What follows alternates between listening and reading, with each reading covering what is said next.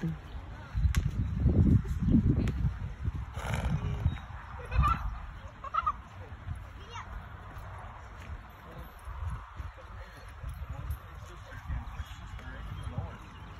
you go.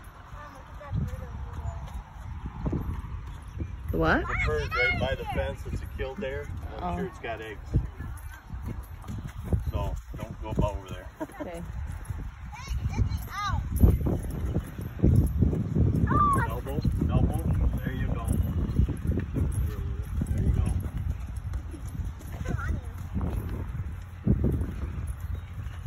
Keep going and you're gonna go to sleep on us.